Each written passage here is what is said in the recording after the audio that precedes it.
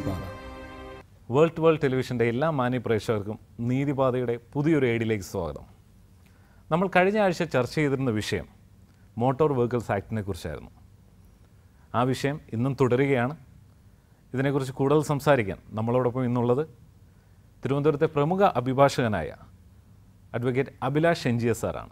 അദ്ദേഹത്തെ നമുക്ക് ഈ പ്രോഗ്രാമിലേക്ക് സ്വാഗതം ചെയ്യാം. നമസ്കാരം സാർ. നീതിപാതയുടെ പുതിയൊരു അധ്യായത്തിലേക്ക് സ്വാഗതം. നീതിപാത നമ്മൾ കഴിഞ്ഞ എപ്പിസോഡിൽ ചർച്ച ചെയ്യുന്ന ഒരു വിഷയം മോട്ടോർ വെഹിക്കിൾസ് ആക്ട് ആയിരുന്നു. അപ്പോൾ അതുതന്നെയാണ് നമ്മൾ ഇന്നും തുടരുന്നത്. അതെ. വളരെ പ്രസക്തമായ ചില കാര്യങ്ങൾ നമ്മൾ ചർച്ച ചെയ്തിരുന്നു. അതിൽ നിന്ന് വളരെയധികം പ്രാധാന്യമുള്ള ഒരു ചോദ്യമാണ് ഞാൻ ചോദിക്കുന്നത്. എന്തുകൊണ്ടെന്നാൽ ഇത്രയൊക്കെ നിയമം അല്ലെങ്കിൽ റൂൾസ് ആൻഡ് റെഗുലേഷൻസ് ഉണ്ടെങ്കിൽ പോലും പല ആക്സിഡൻസും നടക്കുന്നു. പല അശ്രദ്ധമായിട്ടുള്ള വെഹിക്കിൾസിന്റെ ഉപയോഗം നടക്കുന്നു. ഇതൊക്കെ റെസ്ട്രിക്റ്റ് ചെയ്യാൻ അല്ലെങ്കിൽ ഇത് ഇതിനെ ഒന്ന് പിടിച്ചു കിട്ടാൻ നമ്മളുടെ ഈ ആക്റ്റിൽ മോട്ടോർ വെഹിക്കിൾസ് ആക്റ്റിൽ എന്തെങ്കിലും പ്രൊവിഷൻസ് പറയുന്നുണ്ടോ? എന്താണ് അതിന് നടപടിയായിട്ട് അതിനകത്ത് സ്വീകരിച്ചിരിക്കുന്നത്? ഈ- ആക്റ്റിൽ ആക്ടിൽ ഒരുപാട് പ്രൊവിഷൻസ് പറയുന്നുണ്ട്. അത് പണിഷ്മെന്റ് എന്ന് പറഞ്ഞു. ഒഫൻസ് കമ്മിറ്റ് ചെയ്തിട്ട് കമ്മിറ്റ് ചെയ്ത് കഴിഞ്ഞാൽ എന്തൊക്കെ പണിഷ്മെന്റ്സ് കിട്ടും? റൂൾസ് വയലേറ്റ് ചെയ്യുമ്പോൾ അതെ റൂൾസ് ട്രാഫിക് റൂൾസ് വയലേറ്റ് ചെയ്യുന്നത്. ലൈറ്റ് കട്ട് ചെയ്ത് പോവുക വര കട്ട് ചെയ്ത് പോവുക. റൈറ്റ് അതുപോലെ ഓവർ സ്പീഡിൽ പോവുക. ഓക്കെ. മദ്യപിച്ച് വണ്ടി ഓടിക്കുക. ആൾക്കാർക്ക് വളരെ മറ്റുള്ള ആൾക്കാർക്ക് വളരെ അപകടം ഉണ്ടാക്കുന്ന രീതിയിൽ വണ്ടി ഓടിക്കുക.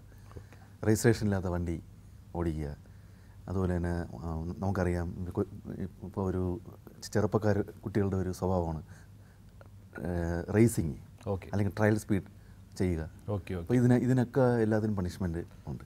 കൺട്രോൾ ചെയ്യാതിരുന്നു കഴിഞ്ഞാൽ ഒരു നമ്മുടെ സമൂഹത്തിൽ ഒരുപാട് ആക്സിഡന്റുകൾ വർദ്ധിക്കുകയും മരണങ്ങൾ മരണങ്ങൾ സംഭവിക്കുകയൊക്കെ ചെയ്യാൻ സാധ്യതയുണ്ട്.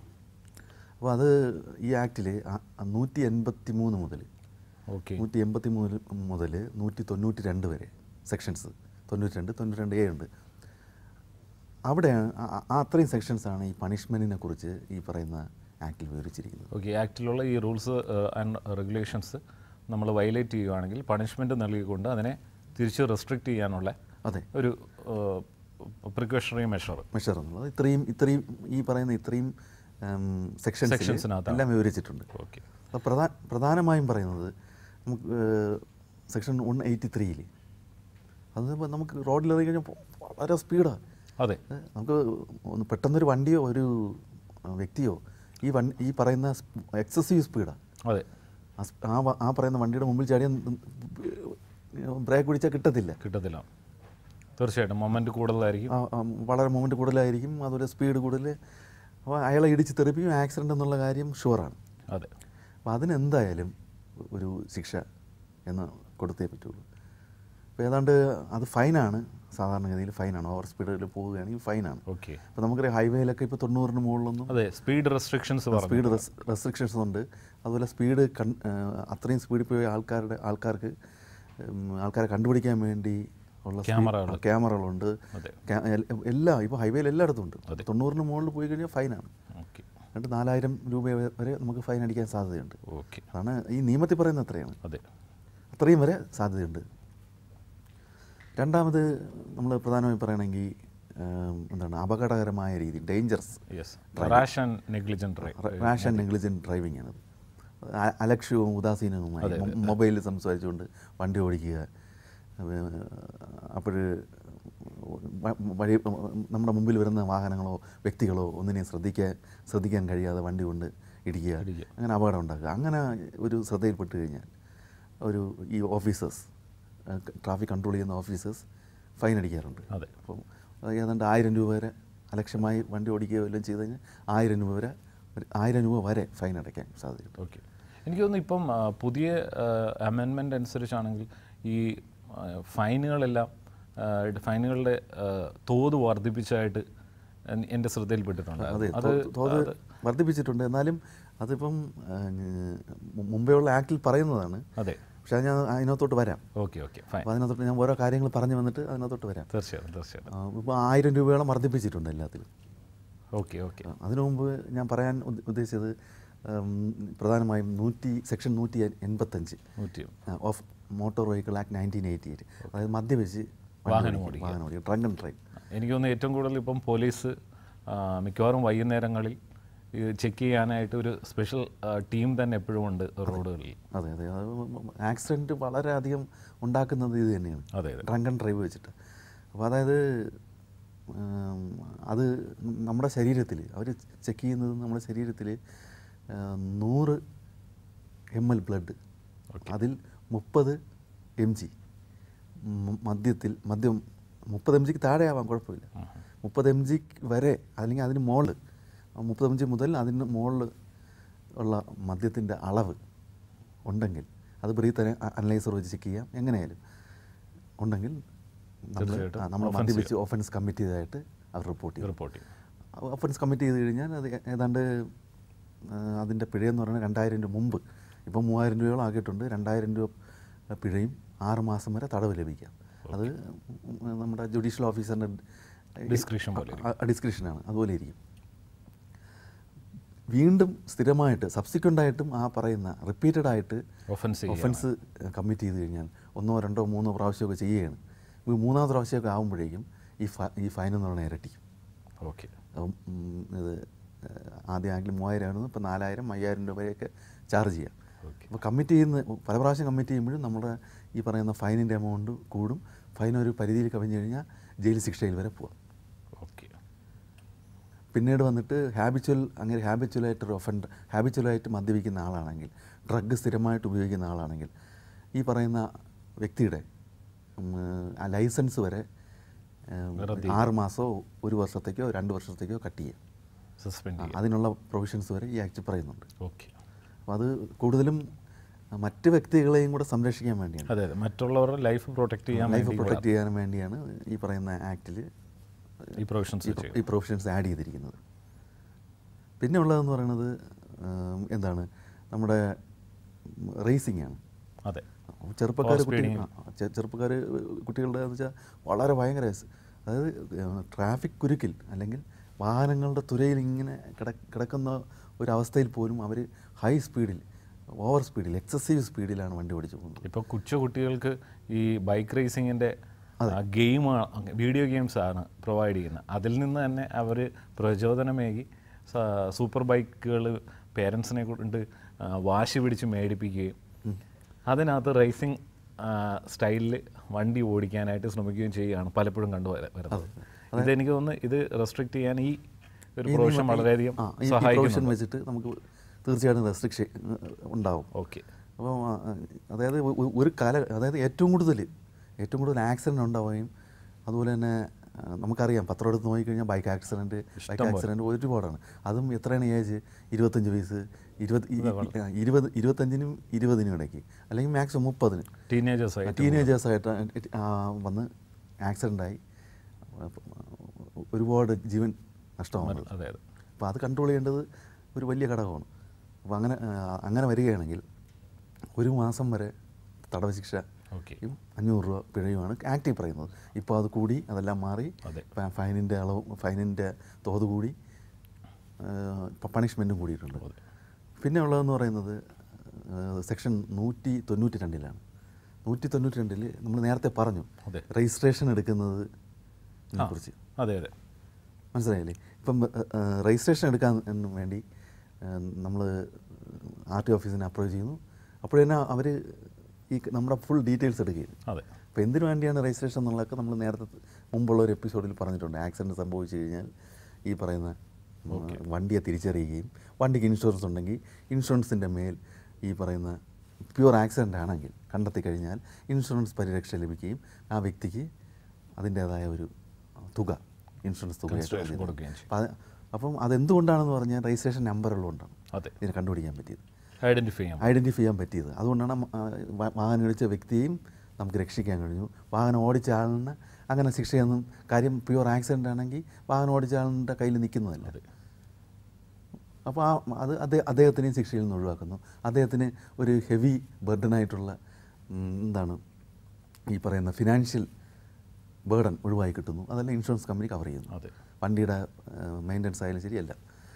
അതാണ് ഈ പറയുന്ന രജിസ്ട്രേഷൻ കൊണ്ട് വ്യക്തമാക്കുന്നത്. അതെ.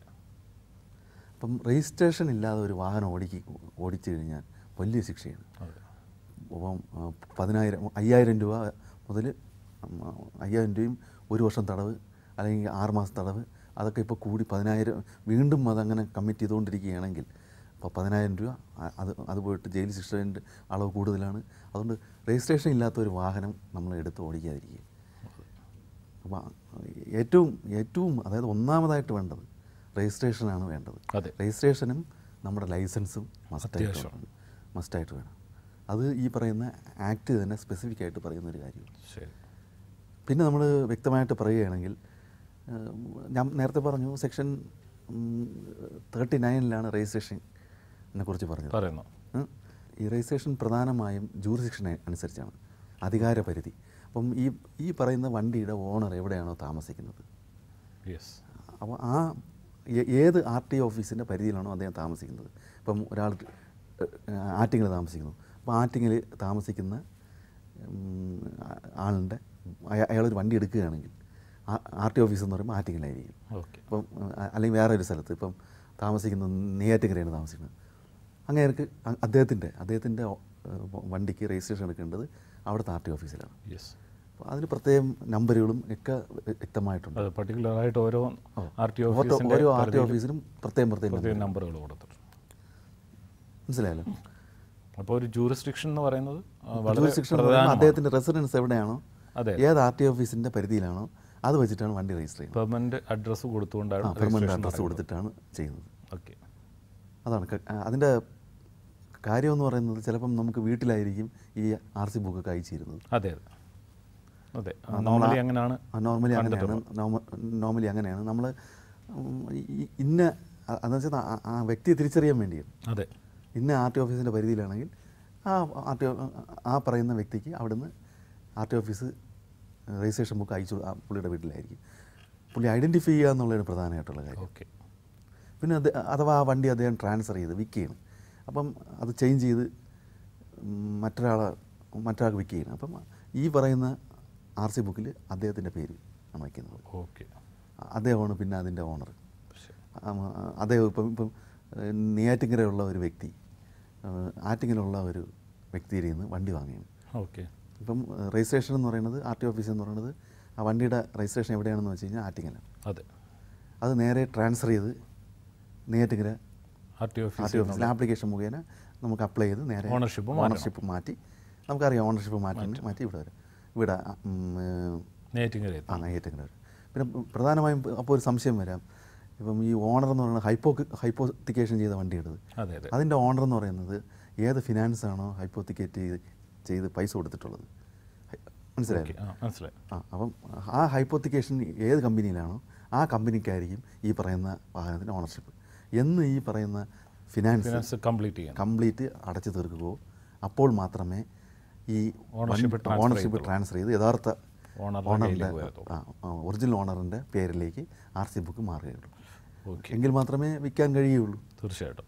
അപ്പോൾ ഇതൊക്കെയാണ് നമ്മൾ ഈ പണിഷ്മെന്റ് ആയിട്ട് പണിഷ്മെന്റും കൂടാതെ ഞാൻ രജിസ്ട്രേഷൻ കൂടെ കുറച്ച് പറയാതെ പോയത് പറഞ്ഞു. അതെ സർ അതുപോലെ തന്നെ നമ്മൾ ഒരു പ്രാവശ്യം കഴിഞ്ഞ എപ്പിസോഡിൽ ചോദിച്ചാണെങ്കിലും ഈ ട്രാഫിക് റിലേറ്റഡ് ആയിട്ടുള്ള കാര്യങ്ങൾ പലപ്പോഴും നമ്മൾ വെഹിക്കിൾസിന്റെ കേസിലാണെങ്കിലും ഈ മോട്ടോർ വെഹിക്കിൾസ് ആക്ടിനകത്ത് ഈ ട്രാഫിക്സിന്റെ ട്രാഫിക് സംവിധാനങ്ങളുടെ കൺട്രോൾ അല്ലെങ്കിൽ അതിന്റെ റൂൾസോ സംതിങ് എന്തെങ്കിലും കാര്യങ്ങൾ വിശദമാക്കിയിട്ടുണ്ടോ?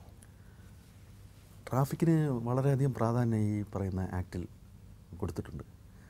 ട്രാഫിക് സിഗ്നൽസിനെ കുറിച്ചും അതുപോലെ തന്നെ പല കാര്യങ്ങളും നമുക്കറിയാം. ഇപ്പോൾ സ്കൂളിന്റെ അവിടെ പോയി കഴിഞ്ഞ് കഴിഞ്ഞാൽ അതെ അതെ. വളരെ സ്പീഡ് കുറച്ച് സ്പീഡ് ലിമിറ്റ് ചെയ്ത് പോവുക.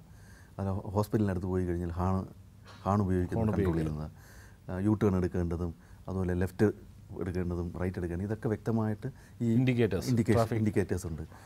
അതുപോലെ അതുപോലെ തന്നെ ഈ പറയുന്ന ആക്റ്റിൽ വാഹനങ്ങൾ ചെക്ക് ചെയ്യുന്നതിനെക്കുറിച്ചും ഓക്കെ ചെക്ക് ചെയ്യുന്നതിനെക്കുറിച്ചും വാഹനം മോഷണം പോയാൽ എന്തൊക്കെ നടപടി എടുക്കണമെന്നുള്ളതിനെക്കുറിച്ചുമൊക്കെ അതായത് ഐ പി സിയിൽ മോ തെഫ്റ്റിന് മോഷണത്തിന് എടുത്തവർക്ക് കൂടിയും ഈ വാഹനം ഐഡന്റിഫൈ ചെയ്യണമല്ലോ. അപ്പോൾ അതിനെന്തൊക്കെയാണ് വാഹനം ഐഡന്റിഫൈ ചെയ്യാൻ വേണ്ടിയുള്ള ഹെൽപ്ഫുൾ ആയിട്ടുള്ള കാര്യങ്ങൾ? അതിനെക്കുറിച്ചൊക്കെ പറഞ്ഞു പോയിട്ടുണ്ട്. ഓക്കെ. പല കേസുകളുടെയൊക്കെ അടിസ്ഥാനത്തിലാണിത് വന്നിട്ടുള്ളത്. അപ്പോൾ ഇതിനകത്ത് മറ്റൊരു കാര്യം എന്ന് പറയുന്നത് മോട്ടോർ വെഹിക്കിൾ ഇൻസ്പെക്ടേഴ്സിനെ ആ ഇൻസ്റ്റിറ്റ്യൂട്ട് ആ ഇൻസ്റ്റിറ്റ്യൂഷനെയും ആ ഓഫീസിനെയൊക്കെ കോൺസ്റ്റിറ്റ്യൂട്ട് ചെയ്തിരിക്കുന്നത് ഈ ആക്ടിന്റെ അടിസ്ഥാനത്തിലാണ്. Motor vehicle officers. അത് മനസ്സിലായി. അപ്പോൾ അവർക്കാണ് ഈ മോട്ടോർ വെഹിക്കിൾ ഓഫീസേഴ്സിനാണ് കൂടുതൽ അധികാരങ്ങൾ കൊടുത്തിരിക്കുന്നത്. ഇൻസ്പെക്ട് ചെയ്യാനും ഇൻസ്പെക്ട് ചെയ്യാനും. ഇൻസ്പെക്ട് ചെയ്യാനും വണ്ടി പിടിക്കാനും ഒക്കെ ഉള്ളത് കൊടുത്തിരിക്കുന്നത്. ലൈസൻസ് ഇല്ലാത്ത അപ്പോൾ അതൊരു പ്രത്യേക ഡിപ്പാർട്ട്മെന്റായിട്ട് മാറ്റി നിർത്തിയിരിക്കുകയാണ്. Motor vehicle motor vehicle vehicles ഡിപ്പാർട്ട്മെന്റായിട്ട് മാറ്റി നിർത്തിക്കുന്നത് ഇപ്പം വണ്ടി വന്നു കഴിഞ്ഞാൽ ഇൻഷുറൻസ് ഉണ്ടോ? ആർ സി ബുക്ക് ഉണ്ടോ? രജിസ്ട്രേഷൻ ഉണ്ടോ? ഓടി ഓടിക്കുന്ന ആളിന് റൈഡറിന് അല്ലെങ്കിൽ ഡ്രൈവറിന് ലൈസൻസ് ഉണ്ടോ? ഇതിന്റെ ടാക്സ് അടച്ചിട്ടുണ്ടോ? ഇതൊക്കെയാണ് നോക്കുന്നത്. ഓക്കെ. അപ്പോൾ അതാണ് ഈ പറയുന്ന ട്രാഫിക്കുമായിട്ട് പ്രധാനമായിട്ടുള്ള ബന്ധം. അപ്പം ഈ അതിൽ ഈ സിഗ്നൽ ലൈറ്റുകൾ അതിനെ ഏതൊക്കെ സിഗ്നൽ ലൈറ്റുകൾ ഏതൊക്കെ ഭാഗത്ത് യൂ ടേൺ എടുക്കാം? അപ്പോൾ ഇതിനൊക്കെ ഒരു ഒരു എന്താണ് ഈ ഒരു റോഡ് സേഫ്റ്റിയാണ് നോക്കുന്നത്. ഓക്കെ. അപ്പോൾ അത് ആക്റ്റിൽ വ്യക്തമായിട്ട് പല പല ഘട്ടങ്ങളായിട്ട് പറയുന്നുണ്ട്. ഓക്കെ.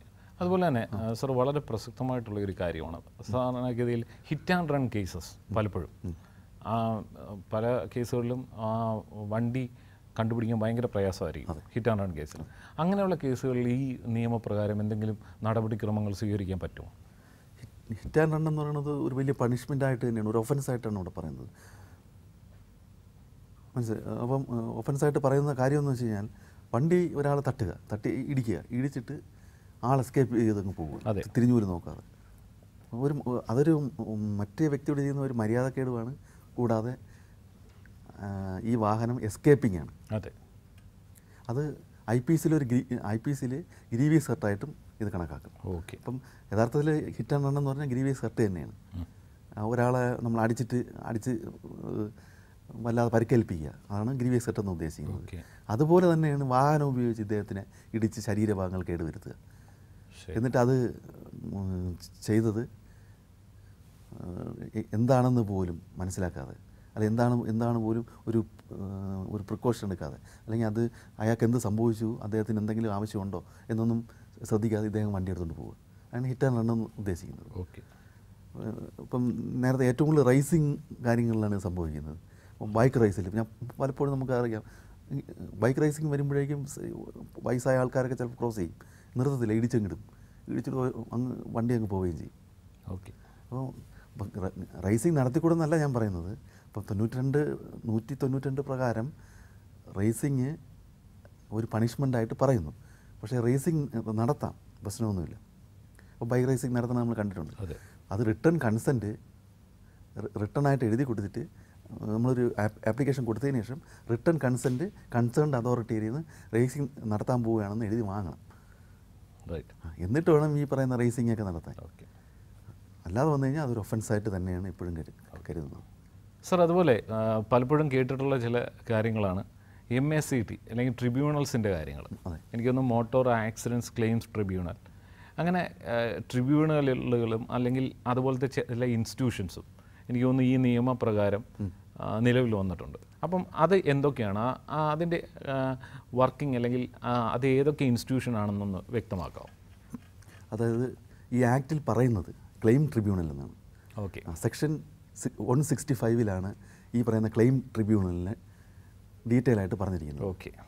ഒരു ആക്സിഡന്റ് സംഭവിച്ചു കഴിഞ്ഞാൽ ഒരു വ്യക്തിക്ക് അല്ലെങ്കിൽ ഒരു കംപ്ലൈന്റ് ആയിട്ട് ചെല്ലുന്ന ഒരു വ്യക്തിക്ക് ഈ ഫയൽ ചെയ്യേണ്ട ഒരു ഇൻസ്റ്റിറ്റ്യൂഷനാണ് അല്ലെങ്കിൽ ഒരു കോടതിയാണ് ഈ പറയുന്ന ക്ലെയിം ട്രിബ്യൂണൽ. അതിനാണ് നമ്മൾ അറിയപ്പെടുന്നത് മോട്ടോർ ആക്സിഡന്റ് ക്ലെയിം ട്രിബ്യൂണൽ എന്നാണ് അറിയപ്പെടുന്നത്. M A C T M A C T ചുരുക്കമായിട്ട് പറയും. അതെ അതെ. എനിക്കൊന്ന് പ്രേക്ഷകർക്കെല്ലാം അറിയപ്പെടുന്നത് എം എസ് സി ടി എന്നായിരിക്കും അതിന് അതിന് ഒരു സിവിൽ കോടതിയുടെ പവറുണ്ട്. പക്ഷേ ക്രിമിനൽ കോടതിയുടെ പവർ ഇല്ല എന്ന് പറയാൻ പറ്റത്തില്ല. അതിനകത്ത് ചില ഒരു ചാപ്റ്റർ അതായത് നേരത്തെ ഹിറ്റ് ഹിറ്റ് ആൻഡ് എന്നൊക്കെ പറഞ്ഞു അപ്പോൾ അങ്ങനെയുള്ളതൊക്കെ ഈ എവിഡൻസ് എടുക്കാൻ നേരത്ത്. എവിഡൻസ് സിവിൽ കോടതിയിലെ എവിഡൻസ് പോലെ തന്നെയാണ്.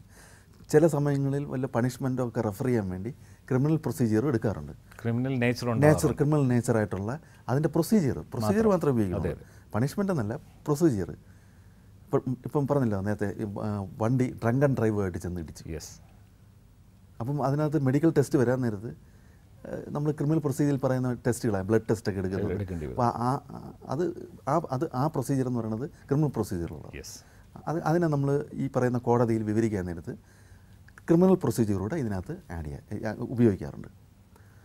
സിവിൽ കോടതികളെ മൊത്തമായിട്ടും ഈ പറയുന്ന ആക്സിഡന്റ് ക്ലെയിം ട്രിബ്യൂണലിൽ നിന്ന് ഒഴി ഒഴിവാക്കിയിട്ടുണ്ട്. സിവിൽ കോടതികൾ സിവിൽ കോടതിക്ക് ജൂറിസ്ഡിക്ഷൻ ഇല്ല. ബാർ അതിനെ ബാർ ചെയ്തിട്ടുണ്ട്. അവിടെ ഒരിക്കലും ഈ ആക്സിഡന്റുമായിട്ട് ബന്ധപ്പെട്ട് ഒരു കംപ്ലയിന്റ് ഫയൽ ചെയ്യാൻ പറ്റത്തില്ല. അതെ അതെ. സിവിൽ കോടതിയിൽ യാതൊരുവിധ ആക്സിഡൻസ് കേസുകളും എടുക്കത്തില്ല. എടുക്കത്തില്ല. എടുക്കത്തിൽ എന്ന് മാത്രമല്ല അതിനെ ബാർ ചെയ്തിരിക്കുക. ഇപ്പോൾ രജിസ്ട്രേഷൻ ചെയ്യാനേ പറ്റും രജിസ്ട്രേഷന്റെ ഉദാഹരണത്തിന് ഞാൻ പറയാം രജിസ്ട്രേഷൻ ഒരു വണ്ടിക്ക് രജിസ്ട്രേഷനുമായിട്ട് ബന്ധപ്പെട്ട് രജിസ്റ്റർ ചെയ്യാൻ വേണ്ടി കൊടുത്തപ്പോൾ ഒരു ഒബ്ജക്ഷൻ ഉണ്ടായി. ശരി. അതും ആ- വ്യക്തി ഈ പറയുന്ന ഓണർക്ക് അത് വണ്ടി രജിസ്റ്റർ ചെയ്യാൻ പോയ വ്യക്തിക്ക് സിവിൽ കോടതിയിലും കേസ് കൊടുക്കാൻ പറ്റത്തില്ല. യെസ് അതിനും പെർട്ടിക്കുലറായിട്ട് രജിസ്ട്രേഷൻ അതോറിറ്റിയിൽ കൊടുക്കാനേ പറ്റുള്ളൂ. ഓക്കെ. അപ്പം ഞാൻ പറഞ്ഞു വന്നത് ഈ വെഹിക്കിളുമായിട്ട് ബന്ധപ്പെട്ട് ആക്സിഡന്റ് ആയാലും രജിസ്ട്രേഷൻ ആയാലും എന്ത് തന്നെ ആയി ബന്ധപ്പെട്ടാലും ശരി സിവിൽ കോടതികളെയും സിവിൽ കോടതികളെ ഇതിൽ നിന്നും പൂർണമായി ഒഴിവാക്കിയിട്ടുണ്ട്. ശരി. അടുത്ത് ഞാൻ പറയാൻ വന്നത് എം എ സി ടി എന്ന് ഞാൻ പറഞ്ഞു നേരത്തെ. മോട്ടോർ ആക്സിഡന്റ് ക്ലെയിം ട്രിബ്യൂണൽ എന്ന് പറയുന്നത് സിവിൽ കോടതിയുടെ പവർ ഉള്ള ഒരു കോടതി തന്നെയാണ്. സിവിൽ കോടതിയുടെ നടപടികളും ആസ് വെൽ ആസ് ക്രിമിനൽ കോടതിയുടെ നടപടി ഇവിടെയുണ്ട്. ഇവിടെ വന്നിട്ട് നമ്മൾ വ്യക്തി കംപ്ലൈന്റ് ഫയൽ ചെയ്യുന്നു. അപ്പോൾ ഇതിനകത്ത് ആർക്കൊക്കെയാണ് കംപ്ലൈന്റ് ഫയൽ ചെയ്യാനുള്ള അവകാശം.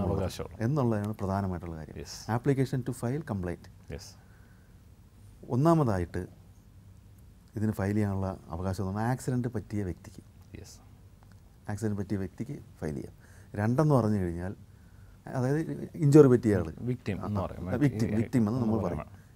ക്ലെയിമെന്റ് എന്ന് പറയാം. ക്ലെയിമെന്റ് ക്ലെയിമന്റ് ക്ലെയിമിന് അത് മൊത്തമായിട്ട് പറയുന്നത് രണ്ടാമത് ഈ ആക്സിഡന്റ് പറ്റി മരിച്ചുപോയ വ്യക്തിയുടെ ലീഗൽ ഹെയർസിന് അനന്തര അവകാശികൾ നിയമപരമായിട്ടുള്ള അവകാശികൾക്ക് ആക്സ് ഈ- പറയുന്ന കേസുമായിട്ട് മുന്നോട്ട് പോകും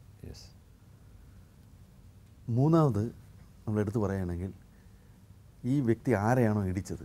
ഇപ്പോൾ ഇപ്പോൾ റൈഡർ റൈഡർ വന്നിട്ട് ഒരു വ്യക്തി ഇടിക്കുകയും അദ്ദേഹം അദ്ദേഹത്തിന് ഇടിച്ച് അദ്ദേഹത്തിന് ഒരുപാട് പരിക്കൊക്കെ പറ്റി. അദ്ദേഹത്തിനും പോവാം. അങ്ങനെ മൂന്ന് തരം ആൾക്കാർക്കാണ് പോവുക ഓക്കെ.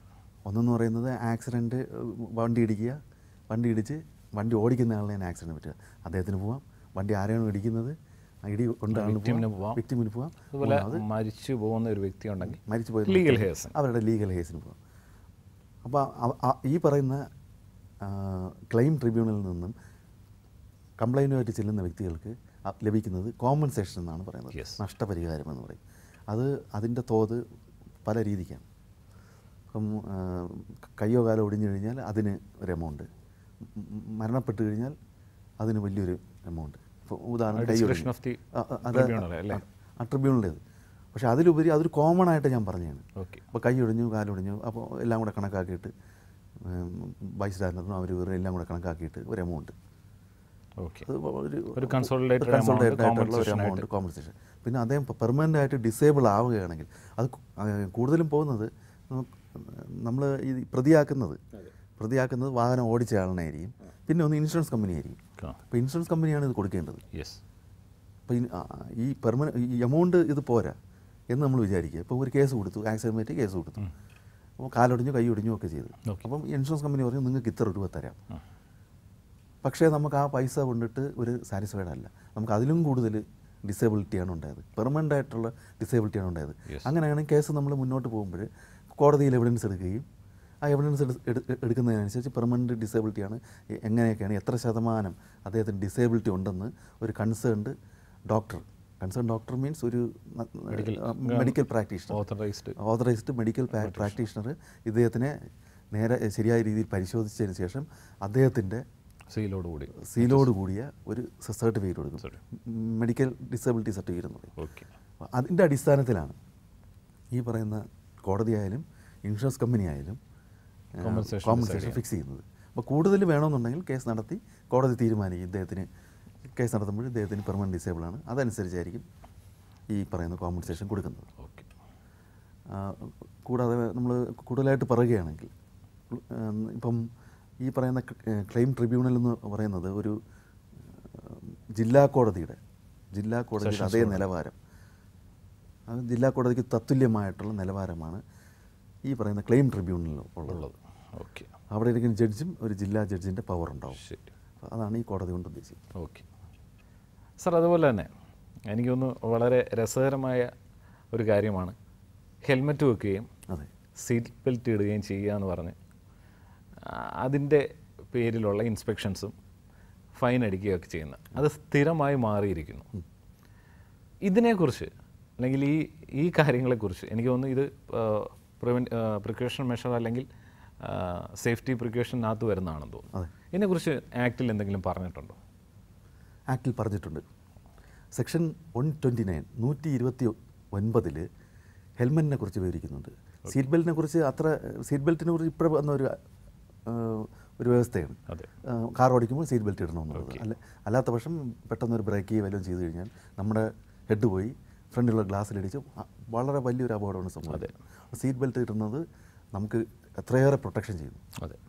ഹെൽമെറ്റിനെ കുറിച്ച് പറഞ്ഞതാണ് ഞാൻ പറഞ്ഞത് നേരത്തെ. ഡയറക്ട്ലി പണ്ടത്തെ ആക്ടിൽ തന്നെ പണ്ടത്തെ ആക്ടിൽ തന്നെ പറയുന്നത് പണ്ടത്തെ ആക്ട് എന്നല്ല അമെൻമെന്റ് പോട്ട് അതിന് ഇപ്പോഴത്തെ ഇത് ഞാൻ പറയുകയാണ് നൂറ്റി ഇരുപത്തൊമ്പതിലാണ് പറയുന്നത്.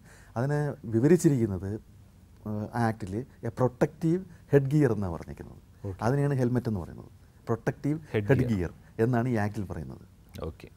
അത് നമ്മുടെ സേഫ്റ്റിക്ക് വേണ്ടിയാണ് നമ്മുടെ തല അഥവാ ഈ റൈഡർ മറിഞ്ഞായിട്ട് വീഴുകയാണെങ്കിൽ നമ്മുടെ തലയ്ക്ക് വളരെ വലിയൊരു ക്ഷതം ഉണ്ടാകുന്നെന്നും ഈ ഹെൽമെറ്റ് നമ്മൾ പ്രൊട്ടക്റ്റ് ചെയ്യും. പിന്നെ എല്ലാത്തിനും ഉപരി ഞാൻ വേറൊരു കാര്യം പറയാൻ വന്നത് നമ്മുടെ ഈ ആക്ടിൽ തന്നെ ഒരുപാട് ഈ ആക്സിഡന്റുകൾ വർദ്ധിക്കുന്നത് കാരണം ഈ റോഡ് സുരക്ഷയെക്കുറിച്ച് ഒരു അവബോധം ഉണ്ടാക്കാനും എങ്ങനെയൊക്കെ റോഡ് ഈ കൺസ്ട്രക്റ്റ് ചെയ്ത് നല്ല രീതിയിൽ ഒരു വാഹന ഗതാഗതം വാഹന ഗതാഗത സംവിധാനം ഉണ്ടാക്കുക എന്ന എന്നതിനെക്കുറിച്ച് പഠിക്കാൻ വേണ്ടിയൊക്കെ ഈ പറയുന്ന ആക്ട് വളരെ ഒരു ഫ്യൂച്ചർ തിങ്കിങ്ങോടുകൂടി രണ്ട് മൂന്ന് സ്ഥാപനങ്ങളെ സ്ഥാപനങ്ങളെക്കുറിച്ച് ഇൻസ്റ്റിറ്റ്യൂട്ടിനെ കുറിച്ച് road safety committee or council committee അല്ലെങ്കിൽ കൗൺസിൽ ഇവരാണ് ഈ പറയുന്ന ആക്സിഡന്റുകൾ എങ്ങനെ ഉണ്ടാകുന്നു അതിനെ എങ്ങനെ നിയന്ത്രിക്കാം. സ്റ്റഡി നടത്തിയ ഏത് രീതിയിൽ ഒൺവേ ഏതൊക്കെ ഒൺവേ ആക്കണം ഏതൊക്കെ ഒൺവേ ആക്കണ്ട.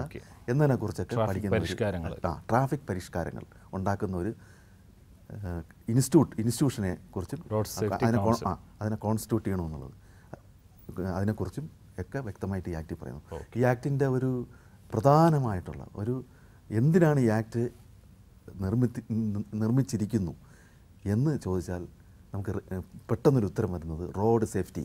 യെസ് അതാണ് ഇതിന്റെ ഈ- ആക്ടിന്റെ ഒരു എന്താണ് ഒരു ലാൻഡ്മാർക്ക്. Okay okay നീതിപാത. അപ്പോൾ സാറ് നമ്മളിന്ന് ചർച്ച ചെയ്തിരുന്ന വിഷയം മോട്ടോർ വെഹിക്കിൾസ് ആക്ടിനെ കുറിച്ചായിരുന്നു.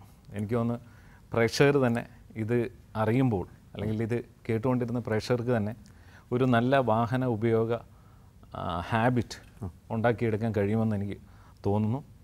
അപ്പോൾ അങ്ങയുടെ വിലയേറിയ സമയം നമ്മളോടൊപ്പം ചെലവഴിച്ചതിന് വളരെയധികം നന്ദി.